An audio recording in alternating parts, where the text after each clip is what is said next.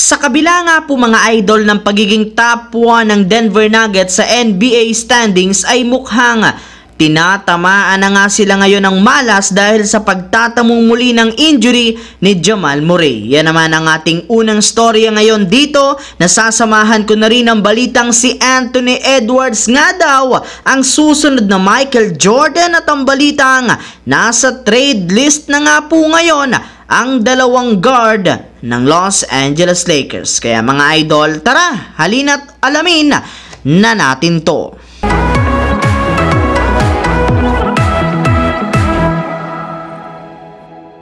Dahil nga po mga idol sa pagkapanalo ng Denver Nuggets sa kanilang huling laro laban sa New Orleans Pelicans, umangat na nga po sa 7 wins, 1 loss ang kanilang record sa standings ng West kung saan sila na nga ang nangungunang kupunan ngayon sa buong NBA matapos matalo ang Boston Celtics kahapon. Kaya mukhang pinapatunayan pa rin naman nga po ngayon ng Denver Nuggets na wala pa rin naman talagang pinagbago ang kanilang kupunan simula nang magkampiyon sila last season. Pero bagamat man maganda ang standings ngayon ng Nuggets sa West, medyo Unti-unti na rin naman nga silang tinatamaan ngayon ng malas at syempre at injury. Sa katunayan, may tinamo na nga po agad ngayong injury ang kanilang superstar na si Jamal Murray sa likurang bahagi ng kanyang hita na siyang rason ng pagkawala niya sa kanilang huling game sa Pelicans. Ayon pa nga po sa pahayag ng kanilang head coach na si Coach Mike Malone, inaasahan na nga po niya na matagal mawawala si Jamal Murray sa kanilang lineup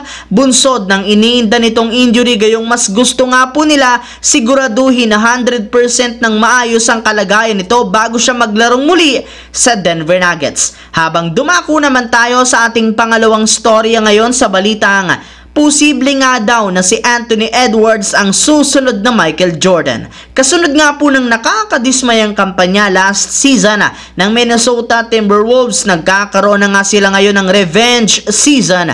Gayong sa kabila nga po ng pagkakaroon nila ng record na 4 wins, 2 losses sa standings ng West, sila lang naman nga po ang unang tumalo sa mga undefeated team simula ngayong season kagaya na lamang ng Denver Nuggets at ang Boston Celtics. At nagawa nga nila yan sa pangunguna ng kanilang superstar na si Anthony Edwards. Na nag-average na ng 28 points per game na may kasamang 6.7 rebounds at 4.8 assists Nagtala pa lang naman nga ito ng season high 38 points sa kanilang overtime win kahapon sa Boston Celtics at ang maganda pa nga dyan, hindi nga katulad ng mga nagdaang season, napaka-clutch na rin naman ito sa huling mga minuto ng kanilang laban. Kaya may ilang mga analyst na rin naman nga po ang naniniwala na pinapanindigan nga po ni Anthony Edwards ang pagiging sunod na Michael Jordan ng kanyang henerasyon. Samantala, dumiretso naman tayo sa ating huling storya dito sa balita nga.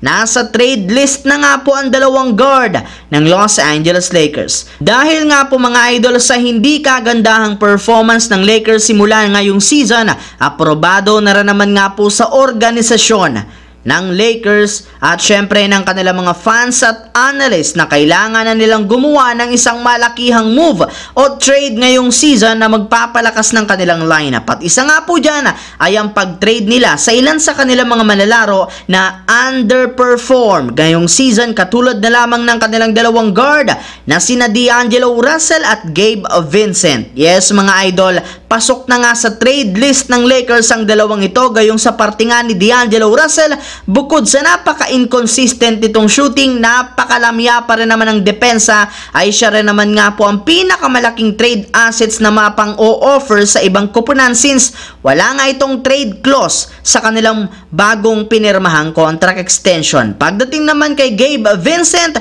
hindi na nga nito napantayan ng expectation sa kanya ng mga fans matapos mag-struggle ito sa kanyang shooting na sinabayan pa ng pagkawala niya sa kanilang lineup bunsod ng injury. Kaya mukhang nagagaya na rin naman nga daw siya sa dating hit player na si Kendrick na nabigla na lamang ng hina at nasayang simula ng sumali at kunin siya ng Lakers at iyan nga daw po ang ayaw na ayaw mangyari ng kanilang kupunan kaya kasali na rin naman ito sa mga posibleng i-trade ngayong darating na season. Ang videong ito mga idol ay hatid sa inyo ng Aurora Game, isang play-to-earn mobile app na kung saan pwede kang kumita habang nag enjoy ka. Maraming mga games dito mga idol gaya ng Color Game na alam kong siguradong mananalo kayo. Dragon versus Tiger na simple lang pipili ka lang kung Dragon ba o Tiger ang mananalo. Meron ding toss a coin na alam kong alam nyo na at marami pang iba. Sobrang dali lang mag-register gamit lang ang iyong mobile number number, hintayin ang verification code at gumawa ng password. Madali lang din mag-cash in at pag panalo, cash out agad gamit ang iyong GCash account. Kaya ano pang hinihintay nyo mga idol? Mag-download na at manalo. Nasa comment section ang link para makapagsimula na kayo. So yun lamang mga idol ang ating bagong video ngayon na ating pinag-usapan dito sa aking YouTube channel once again. This is your J-Zone TV. Huwag kalimutang mag-like at syempre mag-subscribe na rin.